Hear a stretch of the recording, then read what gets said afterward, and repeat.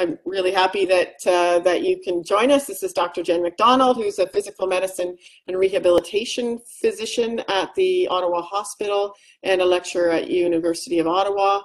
Rehabilitation physicians are experts in the interdisciplinary collaboration and are keenly aware of the physical, cognitive, and emotional sequelae of illnesses that can impact function. As such, rehab physicians are passionate about prevention of illness and injury, as are we. And uh, she's also a member of Masks for Canada and has been advocating for better mitigation measures to address airborne transmission of SARS-CoV-2. So, including with the um, Canadian Aerosol Coalition that some of us are also on. So, thanks for joining us, Jen. Uh, thanks for having me. Um, and yeah, at the end, uh, if I have any other comments, I can sort of add in if I would change anything of what I said or whatnot. So I haven't watched it in a little bit, so it'll be uh, fresh for me as well. Great. Okay, Vani, are you able to roll the video? There we go. Great. Thanks there is certainly a lot to talk about, but we don't want to um, go on for too long for you guys. So I'll try and do this pretty quickly. But I do think it's helpful to see some of the practical sides of it. And certainly uh, at the end, Simon and Kevin, if I say anything incorrect, you know, I'm I'm really not an expert. Before the pandemic, I didn't know anything about masks, and uh, people like Simon and Kevin taught me so much about this topic. So um, I'm hoping to tra help translate that to uh, to you guys today. Um, so the um, fit uh, filtration uh, efficiency and the function of your mask is very key to prevent that um, inhalation of aerosols. Uh, so you can see here we have a nice little diagram that shows at the left, it's probably not, it's still gonna be helpful for aerosols, but the filters uh, towards the right of the screen are gonna be quite a bit more helpful. And the same with the fit of your mask. So um, there's different sort of tips and tricks we can do to try and improve the fit, and then we can get fancier and get a really um, approved standardized respirator um, or even fancier uh, type equipment that's going to be even better protection. And we already talked about function where we want the mask that you choose to be breathable and comfortable and of course also affordable. It would be great if we had a more uh, universal access to these fancier respirators within Canada and I hope that um, that may still be an option even if they're more affordable um, but uh, uh, more universal access would be really nice. So I'm just going to start by showing you guys a surgical mask. Um, here is a ASTM level 3 surgical mask. This is by Canadian company, Vitacore. And um, so what that means is it's an excellent fluid barrier. Um, and it's actually decent at filtering uh, aerosols. Um, however, you can see it's not the best fit. So there's some gaps on the sides here. There's gaps underneath. There's even some gaps around the nose, even though I'm pressing it down, because it's not that tight either. So if I blow out, I can feel all my breath coming at the side. So it's probably leaking 20 to 50% of the air is not even going through the mask, even though the material is excellent, it's going around. Um, so how do I improve that? One option is to just use a simple um, ear saver. And what I would do there is pull it back. I'm not going to put it on here, but I would hook that on. So now I'm making my uh, mask basically a headband type mask. It's going to take less pressure on your ears, and it's also going to uh, tighten it up against your face to get rid of some of this gaps. Um, one another option, which is fairly easy since many of us have lots of pretty cloth masks that we've bought over the last year, so you don't have to throw them out, you can still use them, so you put a fancier mask underneath, one that has more proven filtration efficiency, and then you can take a cloth mask over top. So what that does is it tightens up the sides here so that there's not as much gapping. When I breathe out now, I don't feel quite as much air. and I can adjust this as well um, to fit it better. And then the other thing is um, I would choose not this one um, because this one's too thick. So I have way too many layers on here. It's feeling hot. It's kind of hard to breathe. So if you are going to do that, um, I would recommend a thinner cloth mask and one that does fit tight to your face because it's almost you're using the cloth mask like a brace. And finally, I'm going to show you what a mask brace looks like here. So um, this one is a fit, uh, fix the mask mask brace. Um, uh, which can be purchased. You can also make these. They have designs online for making them. Um, and you can also um, uh, uh, uh, wait for some newer ones that are coming out. There's a Canadian made model that's sort of like a plastic shell that fits over the mask and under it, which looks really cool. So keep your eyes out for that. So the idea here, and you should do this in front of the mirror, and uh, I'm just going to put this on my nose here. Okay, bear with me. This isn't something that, you know, you would want to do, sorry, there we go. Um, it's not something that you would want to be wearing if you had to take it on and off multiple times in the day because it is a bit finicky. Try not to make it look too silly here. Okay, and I'm gonna put that on like that. So you can see here, the uh, nose piece is fitting along the bridge of my nose. It's going on the sides, it's going under my chin, and there's nothing leaking out the sides here. So now when I breathe in and out, all the air is coming through the mask. I don't feel anything leak. I could even do an actual seal check. So what I do is cup my hands over my mouth like this, inhale in and, and exhale. And when I inhale sharply, I'll feel the mask material uh, come in towards my face. And when I exhaled, I felt it bulge out. So this is actually a really good option. This is probably almost as good as a respirator. Um, obviously, it's uh, uh, impromptu. It's sort of a DIY type of option because of pandemic. It's not going to be approved for healthcare workers and high risk workers, but it's going to do a pretty good job, and you have a nice fit for this. So certainly something to think about if you have a bunch of procedure masks that you know are decent quality lying around, you can get yourself a mask brace. Uh, next, I'm going to just quickly show you guys that uh, Kevin mentioned it previously, a KN95 style. So this is an ear loop uh, model. It's bifold. So what you have to do when you open these bifold ones up is actually press down the metal thing first at the top, the ear, uh, the uh, nose piece. If you don't do that, it makes a fold and you'll have a leak spot there. I'm gonna cup it on my face, okay? And I'm gonna press that down on the sides. And you can see this mask was designed to fit around my face. So there's no big gaps um, or leak points there. The problem is it's not quite as tight because of the ear loop design as uh, Simon was explaining. So uh, because of that, if I really blow out, I can feel a bit of air coming out the sides here. So how could I improve that even further? If I was just going, you know, to a well ventilated grocery store and maintaining my distance, this is probably good enough. It's easy to put on and off. Uh, but if I really want to, um, you know, increase my safety, I could even add a um, ear saver to the back and now I'm really tightening it up. So now um, if I blow out, I really don't feel anything leaking out. So that is certainly an option to improve the fit of that mask.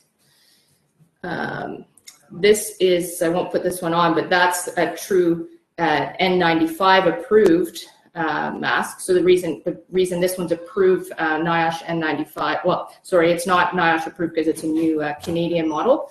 Uh, but the, uh, the oh, not done yet, Ellie. Sorry, that's my daughter there. Um, so the reason this one is uh, better for healthcare is because it has the headband versus the um, ear loop design here. Um, and finally, I should have kept Ellie in here to show her the children's mask, which I almost got to, but she probably wouldn't cooperate. So here's a, this one folds open like three, like this, okay? And this is the one I wear at work. Um, I've been wearing it for almost a year now, very comfortable. You kind of push in the sides a little bit um, and it cups on your face. Put the top uh, strap up here, bottom strap down here. I'm gonna pull it down and up press that down here. And now I'm going to try seal check. So I'm going to put my, cut my hands over, inhale sharply. I feel the mask coming in. I'm going to exhale.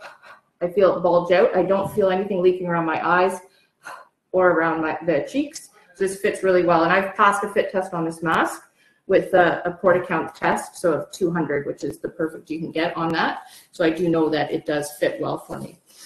Um, and I should mention this is C, a, a CAN99. That means it has very, even better than 95% uh, uh, particle filtration efficiency. Here is a kid's mask. Um, this one is the uh, Canada Strong one.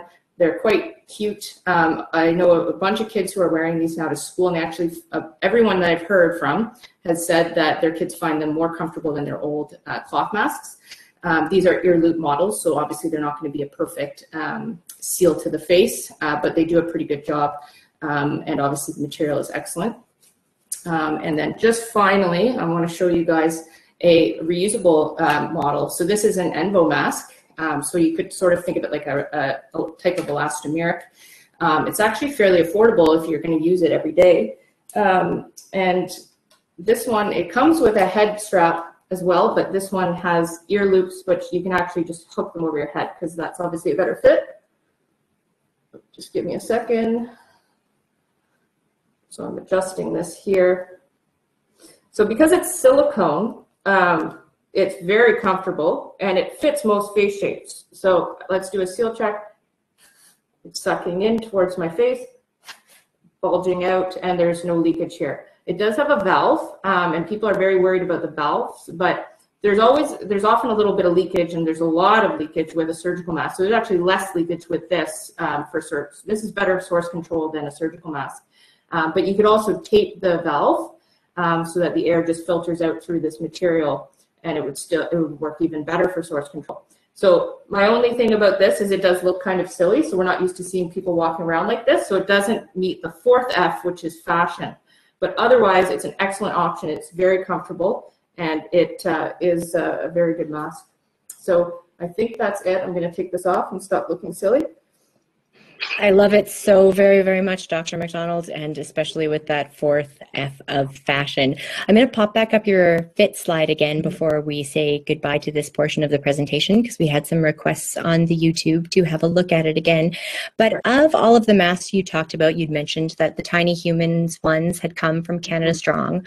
We've been getting a lot of questions in on both Twitter and in the YouTube stream around where to shop where to shop for masks. Yeah. Um, Mm-hmm. we, we have a, uh, the Mask for Canada created a document that has a list of a lot of the ones that have been Health Canada authorized. Um, the, the sort of that um, extra layer of um, uh, standardization and, and that Simon's been talking about so that you avoid the counterfeit ones. So if they're on that list as well as on that CDC list that he talked about um, to avoid the counterfeit ones, then you know they're better. So we can probably link that up somewhere. It's it's got a lot of good options, um, but there's lots of nice Canadian options now. Think, uh, I don't want to leave any out, but Eclipse, uh, Canada Strong, uh, VitaCore. Um, I think there's a, a, Canada Mask with a Q. Um, so there's a, a bunch of uh, companies that have really stepped up. Um, there's other companies that are working on other um, uh, reusable models, which are excellent. Um, um, so I think uh, there's, and I think most of those are on that uh, document. Thanks, Bonnie. Jen, so did you have anything to add now that uh, Um, you've seen it again? Yeah, I, I'll add a couple things. So, unfortunately, I should have brought my because I after I did that video, I was sent one of the Dentec, um, the non-exhalation valve elastomerics, which is quite comfortable. I haven't been wearing it to work just because my hospital, I think, uh, would probably kick me out. it's just not standard in Canada to wear elastomerics to work, unfortunately. So, I would get too many uh, looks at this point. So, I still wear an, uh, just a an FFP uh, three style mask, but um, it's excellent. Um, and I know John was ma- making a comment there about um, the valves. There's this huge concern um, within public health and IPAC about exhalation valves being so dangerous, and they've been blamed for certain outbreaks. I've heard, um, and we do know from the several NIOSH studies that um, the amount of leak uh, through that valve is at as uh, as much or probably less than a surgical mask. So it really is. Um, unfortunately, though, it's it's very much ingrained within policies, and um, so I don't think you could wear a, a, valved mask, for instance, into a hospital. They wouldn't let you. Um, but uh, I guess the good news is that many of them, especially on the FFP style masks, can be taped up uh, and then and then pass their uh, approval. But it really is kind of silly that um, uh, we allow leaky surgical masks, but don't allow a tiny uh, exhalation valve. Um, and I just wanted to show another mask I've been wearing sometimes, which I also like, is the 3M V-Flex, um, is sort of that duckbill style. Um, it's very comfortable and it allows you to sort of you can like open your jaw quite wide. Like, so actually someone has mentioned it's a good option for singers.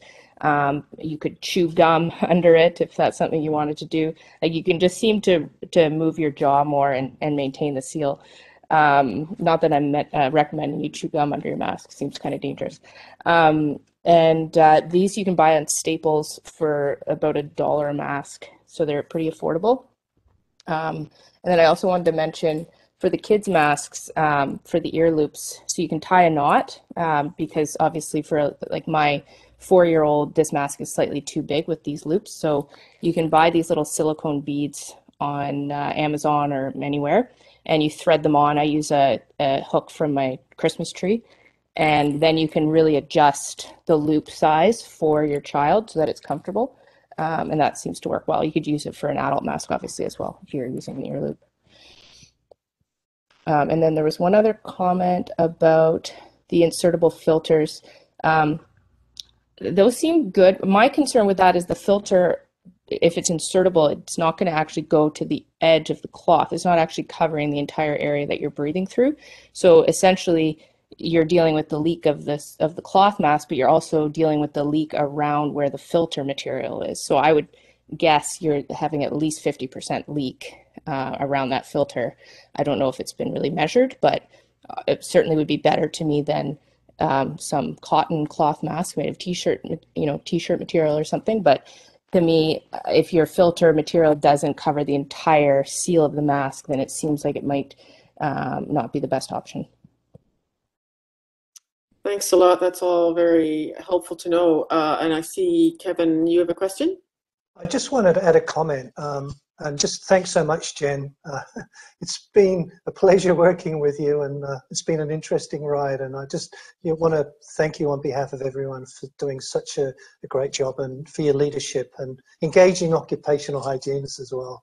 Um, so just, uh, uh but I want, wanted to say that um, something that gets missed out a lot, um, and I, I actually shaved last night on purpose um, because I usually have a bit of stubble, but I decided to be yeah. clean shaven because, um, and I did work in a, a, lead mine for a while, and being clean shaven in the lead mine was critical to getting a good face seal with your respirator. If you're unshaven, then it's you're likely that you won't pass the PortaCount, the quantitative fit test. So you kind of in the public, you might see people wearing fit, having humongous beards and having this tiny little face covering in the middle of the beard. And the air is just going to go in around the beard. But you really need to think about, if, if we're serious about this for the public, you know, us fellas really need to be clean shaven.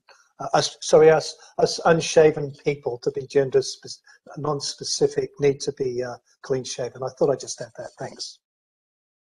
Yeah, that that is an important, and it, it is.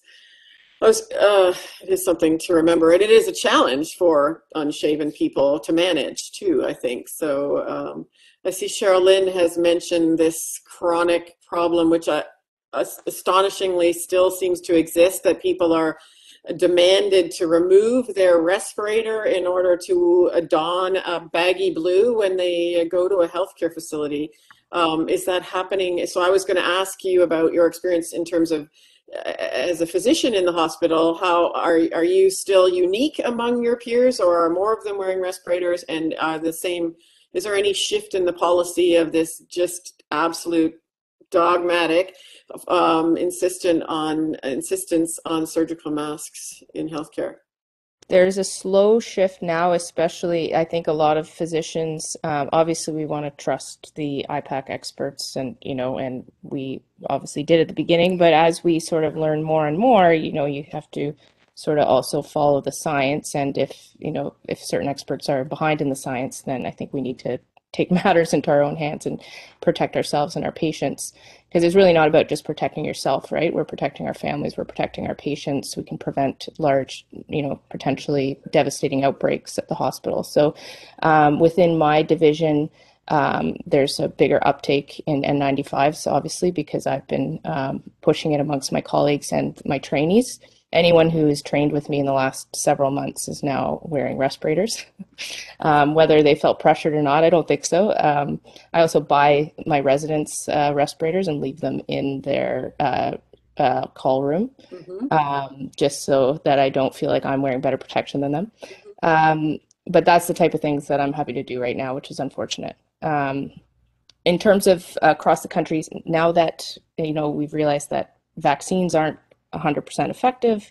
We realize there's new variants. Um, there are more there's more talk of physicians who are sort of like yeah you're probably right but i feel i feel safe because of the vaccine you know covid's almost over anyway that was the sort of attitude and it's like people are just tired they've been working their butts off and they don't really have like the mental energy to think about this new safety concern right um, so i think in the last i would say couple of weeks there's a lot more i'm, I'm hearing a lot more on our sort of around the country of, of physicians adopting uh, uh, respiratory protection, but many actually buying their own equipment, and then it does create an issue amongst you know what about the uh, custodial staff at the hospital? What about some of the nurses and PSWs that don't?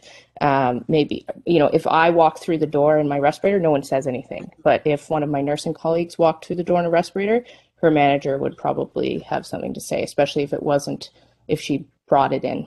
Um, so that's obviously a, a real issue. Yeah, uh, um, yeah, that fight continues. I think um, uh, on many levels in, in schools too, right? And the the need to to do these presentations to school boards to allow teachers to bring in their own respirators um, instead of uh, the default uh, to it's uh, the fight I think still continues across the province. Um, I, I wanted to ask. Sorry, I just I, wanted to just start? mention. Sorry. Um, sorry, I just wanted to quickly mention that um, a lot of physicians and nurses have been fit tested on just the classic hard cup shell style respirator, and we know there are lots of other options now which can be more comfortable and still pass a fit test. So um, and obviously elastomerics can be much more comfortable. Um, so I think part of the issue is a bias of just the one, you know, classic 3M cup shell that they've, you know, squished on their face and made it fit. Um, and it's just, it is uncomfortable to wear that all day. Um, so a lot of uh, these healthcare workers need to to realize the other options that are out there uh, that would be more comfortable for them. Because yes, I don't think people should be in pain or struggling to breathe through the day, and that's not obviously what we're asking. It's for if you have one that is uncomfortable, they should be finding one that is not uncomfortable, since we do have many options now. Yeah, John has made that point for years about the studies around the donning and the doffing or whatever, and that the whole point is, well, then figure out one that does work and is comfortable enough for someone to wear for this many hours so they can be protected at, at work.